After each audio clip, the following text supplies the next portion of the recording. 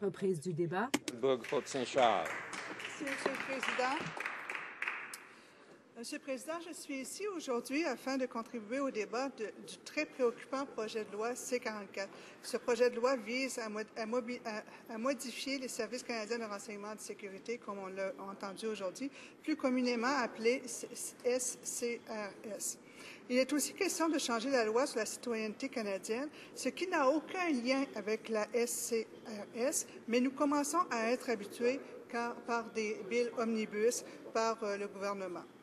Je désire vous entretenir de trois, de trois majeures préoccupations, soit le besoin d'une étude en profondeur, la modernisation du SCRS et la lutte à la radicalisation. Avec les événements traumatisants du mois passé que nous avons tous vécus, le, projet de loi C-44 est un sujet brûlant. Nous, tous, dans cette Chambre, euh, comme tous les Canadiens et Canadiennes, avons été touchés par cet inci- incident euh, tragique.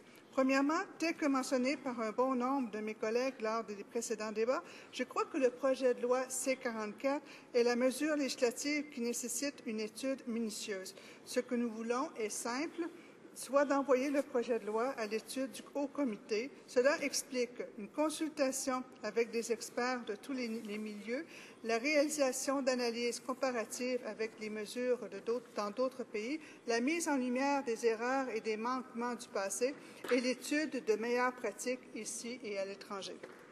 Quelles seront les modifications sur les instances juridiques de cette législation? Est-ce que cela affectera mes libertés civiles ici et ailleurs? Sommes-nous dans un tournant vers un État un peu plus policier? Ici sont les questions posées par les citoyens et citoyennes. Les Canadiens et Canadiennes méritent de savoir il n'y a qu'une étude complète et transparente dans un comité parlementaire multiparti qui éclairera le sujet.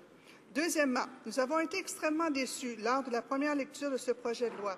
Déçus parce qu'il n'y a pas de renforcement du mécanisme de surveillance civile du SCRS. Soyons clairs ici, ce projet de loi vise à donner une autorisation légale au SCRS de mener des opérations de renseignement à l'étranger, de permettre à la Cour fédérale de faire des mandats qui ont une portée à l'extérieur du Canada, de protéger l'identité des sources humaines qui fournissent des renseignements au SCRS dans les procédures judiciaires. Cet amalgame de pouvoir est une source de préoccupation. Au cours des années de son, existence, le SCRS a reçu plusieurs critiques. Son manque de mécanismes de surveillance civile et l'absence de mesures de reddition de comptes sont deux critiques qui font souvent les manchettes. Alors que les conservateurs veulent modifier les pouvoirs du SCRS, il faudrait dans un premier temps réparer ce qui est brisé. Au cours des huit dernières années, le gouvernement a ignoré plusieurs recommandations afin de moderniser le SCRS. Pensons par exemple à la commission d'enquête de Maher Harar, l'avis du commissaire à l'information du Canada et l'avis du commissaire à la protection de la vie privée du Canada. Toutes leurs recommandations vont dans le même sens, soit une surveillance civile efficace et accrue du SCRS. Certains pays sont entrés en guerre parce que leur agence de renseignement leur avait garanti qu'il y avait des armes à destruction massive dans un autre pays. C'était une décision précipitée avec un faible mécanisme de surveillance qui a mené à beaucoup d'erreurs et de regrets. Se baser sur de mauvaises informations ou procéder à de fausses accusations n'aide pas à l'amélior- à l'amélioration de la sécurité, bien au contraire. Pour que ce- cela fonctionne, nous devons nous inspirer des meilleures pratiques au lieu de répéter les erreurs ou les erreurs des autres.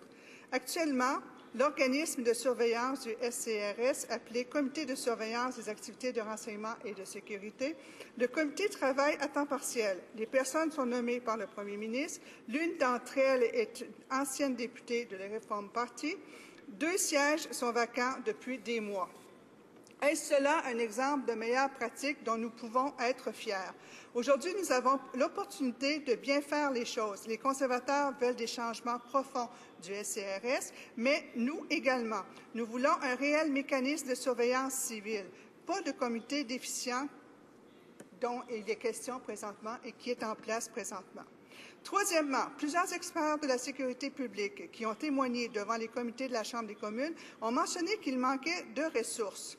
Cela fait maintenant trois années consécutives que les compressions budgétaires affectent les organismes de sécurité publique comme le SCRS. C'est une pensée magique de croire qu'en donnant plus de pouvoir et de responsabilités, ils pourront compenser pour ces années de compression. Je veux également souligner une très grande lacune de cette approche du gouvernement.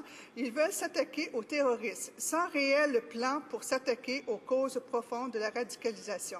Les communautés demandent de l'aide au gouvernement pour les aider. Toutefois, aucune mesure n'a été annoncée pour créer des partenariats avec les communautés. Nous appuyons une étude en profondeur, mais le gouvernement doit être ouvert et à apporter des amendements au projet de loi.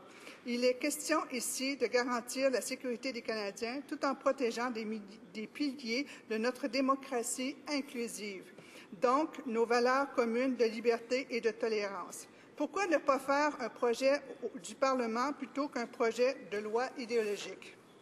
Nous sommes prêts à travailler avec tous les membres de la Chambre afin d'avoir un consensus parlementaire.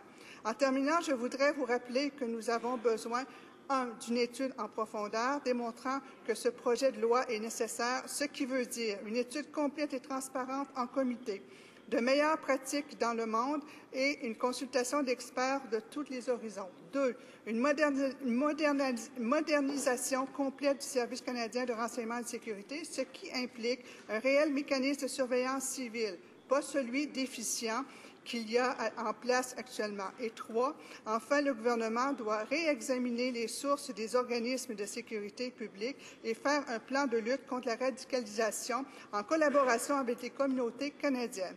Nous espérons, Monsieur le Président, que le gouvernement se montrera ouvert à nos propositions afin de parvenir à un consensus qui serait bénéfique pour tous les Canadiens et les Canadiennes. Merci.